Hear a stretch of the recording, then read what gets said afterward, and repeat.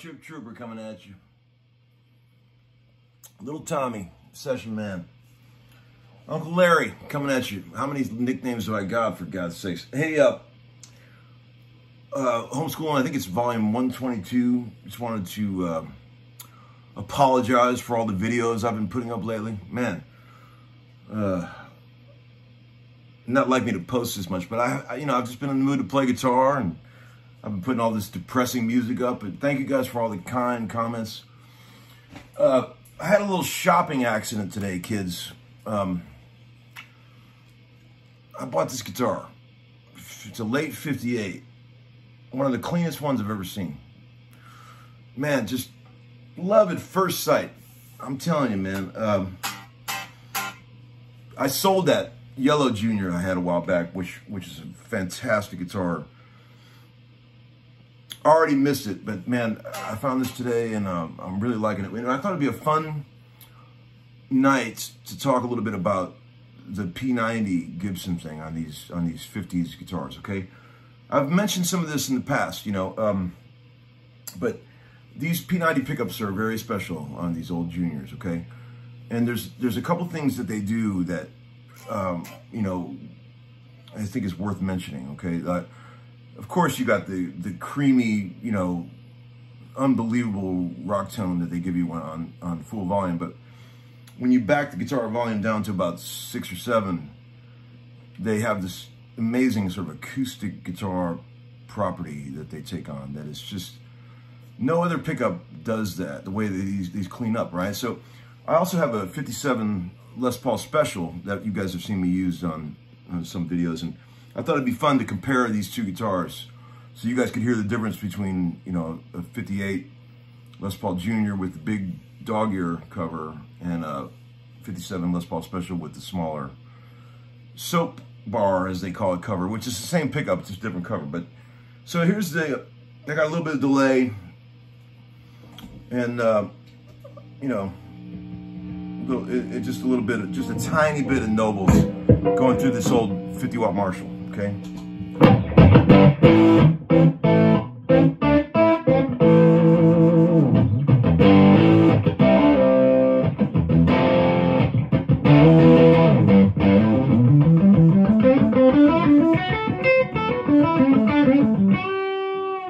I was talking to, uh, to a friend of mine tonight about this phenomenon that these guitars, I've had a pile of these old juniors in my life.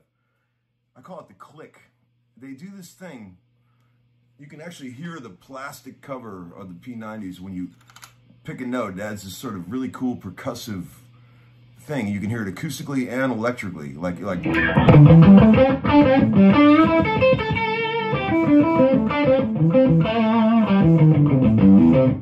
of the many things I love about a Les Paul Jr.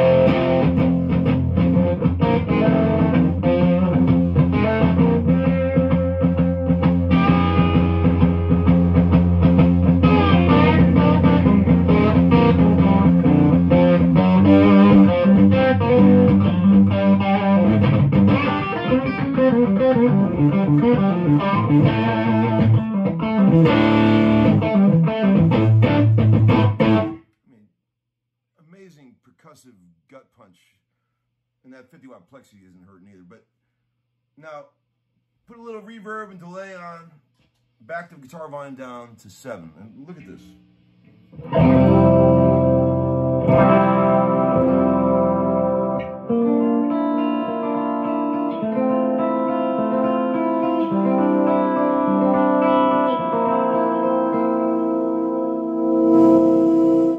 And then when you got that last couple numbers there on the volume, it's just like a pedal you kick on. It just goes to from acoustic guitar to just soaring, you know, rock and roll tone.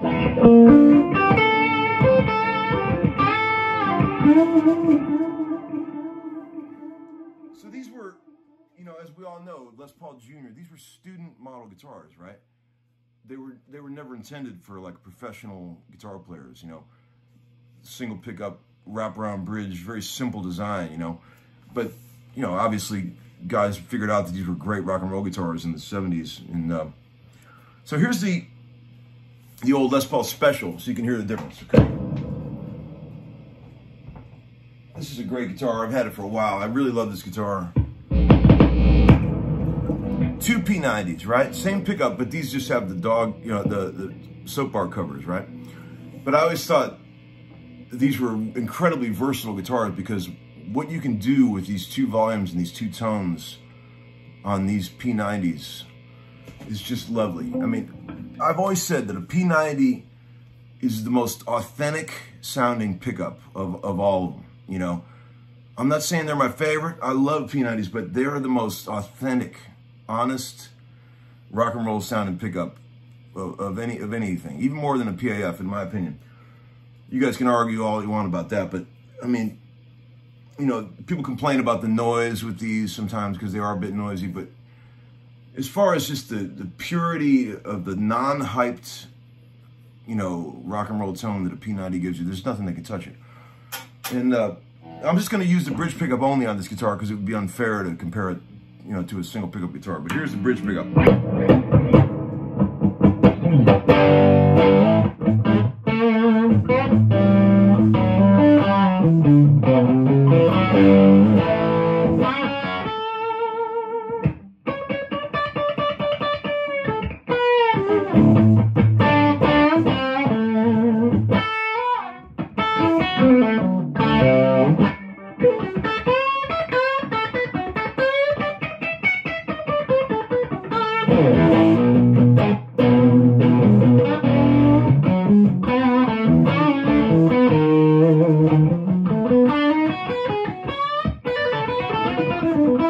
Okay, so um, when I play P90s, I like to get them real high, okay? And just jacking up the pole pieces alone doesn't make it on a P90. You've got to get the whole body of the pickup up. So you can see I shim these pickups, get them up real high. See, like humbuckers, I don't like to have them real high, but P90s, you got to have them high. And you can't just jack the pole pieces up. It's got to be the whole pickup, right? Sometimes on Les Paul Juniors, they're actually too close to the strings, you know, because there's not a lot of clearance there for the, if you like your action low, you got to, I've had to recess the pickup into the guitar a little bit on certain other, you know, with the right neck angle or the wrong neck angle. So, um, this is a whole different animal. This is, a, you know, another solid piece of mahogany, uh, but they are different, you know. Uh, check it out. I'll play up, and this this thing also does the acoustic guitar thing when you when you turn it down. Check it out. This is at seven.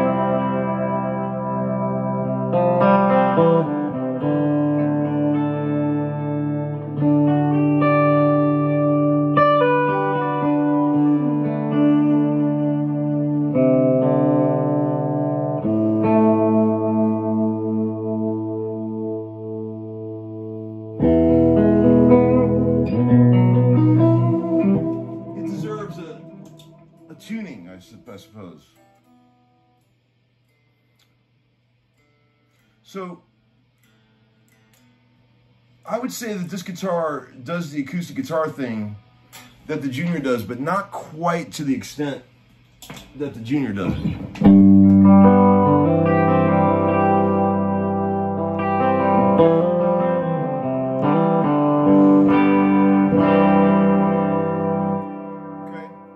here's the Junior turned down for the acoustic guitar effect that Pete Townshend liked to use on his SG special. Okay. More clear and more open. Maybe something to do with the, the caps that they use in the wiring. I'm not totally sure. But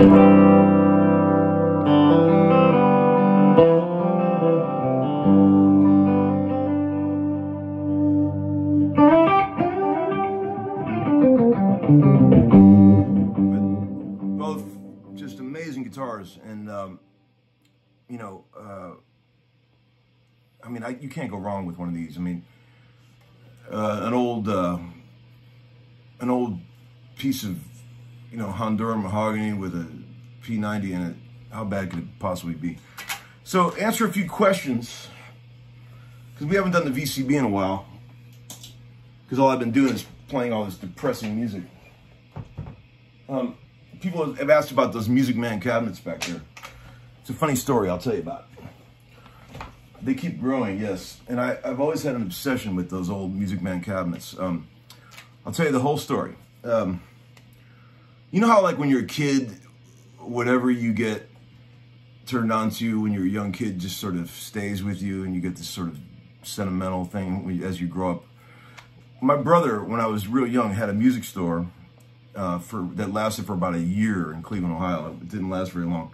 But after it closed, um, he took a lot of the brochures and things that were in the store and he put them in a filing cabinet at my mom's house. So when I was little, I used to like crawl through that filing cabinet. And I would look at all these brochures. I remember catalogs for Guild and, you know, Music Man, but this catalog is amazing. And man, I used to look at these pictures of like these Music Man cabinets, and I thought to myself, oh my God, these are the coolest looking things I have ever seen. This catalog is amazing, by the way. You guys ever look at old catalogs? Total nerd, right? But it's fun. But yeah, look, I mean, look at that. So that's my explanation for the obsession with the Music Man cabinets. I've had a couple questions lately about, and yes, I do use them and they sound amazing, by the way. Um, I've got a 115, a 210, and a 212. Um, another guy, another guy sent a question that I've been pondering lately. Um, I've sort of been thinking about how to answer, it, but he said, what's the difference between a good guitar player and a great guitar player? Which is a, kind of a you know a silly question, but there's a lot to it, right? I mean, um, I answered him in, in the text, and I can't remember exactly what I wrote, but it was sort of a perfunctory view of it. But I I say that it has to do with that last one percent. You know, I mean, um, the difference between good and great in anything, sports or anything, usually comes down to that last couple percent, right? Um, there's this thing that happens uh, in that 98, 99% that really becomes special, you know. You know, I've talked many times about, about touch and, uh, you know, phrasing and all the things that make it, you know, like a real musician, not just a guitar player, but a real musician has to have these things. But I've said phrasing is the most important thing. Touch is the most important thing you know, listening, being able to conjure the perfect thing to play at the right moment, given the circumstances around you. These are the things that I've seen great musicians do, right? Um, there's a lot of things that go into it, but I think the touch, phrasing, and just a general full court awareness of what's happening in, in, in a song, you know, on a gig or on a, on a session, those are the things that I, that I look for in a in a great musician. You know, um, there's a lot more than that, but but okay. So I'm going to go off on one last thing. Okay, I've talked about this before, and I'm going to reinforce this one more time. Okay, people have asked me to critique their videos where they're playing a solo or something like that. You know, I, I, I am on the gear page. Yes, I do occasionally look at that, and people have asked me to you know to to look at some of their videos and see and, and wonder what my opinion was or whatever, whatever. That's fine. But I, I notice the thing it, that I notice when I'm looking at a guy play, I, I ask myself, is he playing with his fingers or is he playing with his brain, in his, in his heart? Okay, like an average guitar player, an amateur plays with his fingers. And a great plays with his heart and his mind and his brain, okay? That's the difference. You can you can always tell, okay? There's a lot of guys that have learned how to get, you know, real comfortable with their patterns and their shapes, and they're so used to playing things a certain way, they'll they'll just let their fingers fall where they play, you know, where they will fall. And it sounds good. It sounds like guitar. But that does not move me. That I, I don't like that kind of guitar playing where you can just tell the guy's fingers are just falling where they normally fall. Because if you gave them that same piece of music and took the guitar out of their hands and told them and told them to sing a solo, they would never sing that. Okay, I'm looking for guys that sing while they're playing, right? That's what I try to do. I, I try to ignore the fact that I'm a guitar player and don't just let my fingers fall where they're used to falling. I'm trying to find things that are sometimes uncomfortable to play on guitar, but they sound amazing, right? You, when I'm about to play a solo in the studio, I've talked about this before. I, I, I won't just pick up the guitar and start playing. I have to listen to the track. Tell, play me the bit where I'm supposed to solo and let me listen to it, you know, several times. And I want to picture what could be there. You know, I, I, I want to uh, imagine what could be there. Like I'll sing things in my head. I'll get a picture of what I want it to be like. I'll picture a tone. And then I, then I pick up the guitar and I start fishing out what I was singing in my head.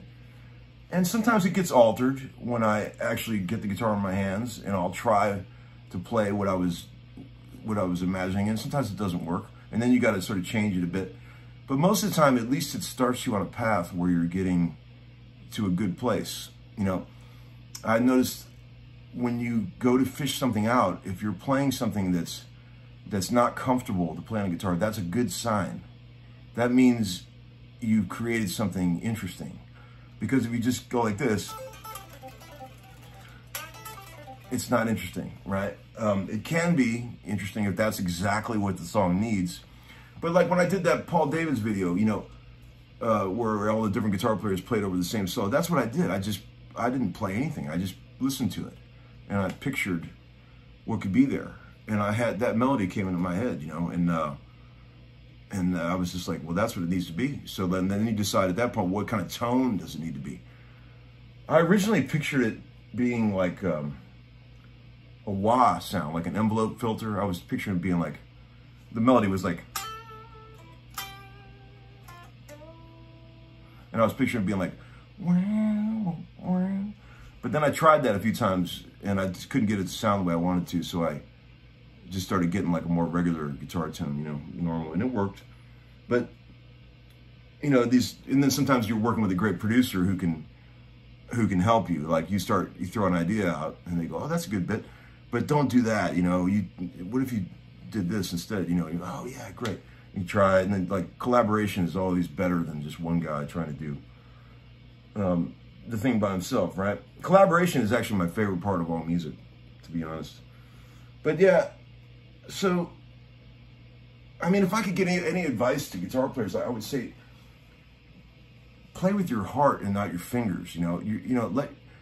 I mean, we all have to know our shapes and our patterns and all that stuff, but but if that's all you're doing, if you're just letting your fingers fall where they're because of muscle memory, then you're not really playing guitar, man.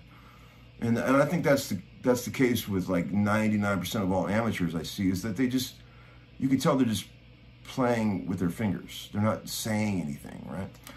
And uh, man, you know, I'm not saying that uh, it has to be slow and soulful to be good. I mean, I like all kinds of guitar playing. I like ripping guitars. I like, but it's just got to fit the song and it's got to be what the song needs, man. And it's got to be what the people want to hear, right? That's the most important thing. Um, uh, I always joke around the studio. I just say, you know, give the people what they want to hear, you know, that, that's the thing. I mean, that goes, you know, like drum fills and stuff like, I mean, there's certain things that we all want to hear, man. I mean, if a guy tries to get too tricky with his drum fills in certain places of a song where it's supposed to re-enter, it's like, dude, what are you doing? Just give us, you know, let's, that's what we want, you know, give it to us, you know. Yes, it can be cliche, but it's also great when it's done right so I want to say, uh, you know, again, thank you to all who have bought the Plexi Soul album, the Trip the Witch album. And check out that website, man, Guitar House, because there's all kind of stuff on there. There's this Plexi Soul shirt, you know, direct, it's called a direct transfer, fancy shirt. Um, and then Drew's doing good over there. He's he's busy packing up uh, Oh, you know, I was going to tell you one more thing too. Uh, there's been a lot of problems with Australia. Like uh, people have said that they're having a hard time, like they can't ship to Australia. But Jedd Hughes' dad has offered to have a bunch of CDs shipped to him, and he would he would post them out, you know, from Australia. So that's what we're gonna do. I'll I'll be in touch with the link about that. If you're an Australian and you want the Plexi Soul record, Um, all right, guys. I'll be uh, seeing you real soon. Over and out. Merry Christmas.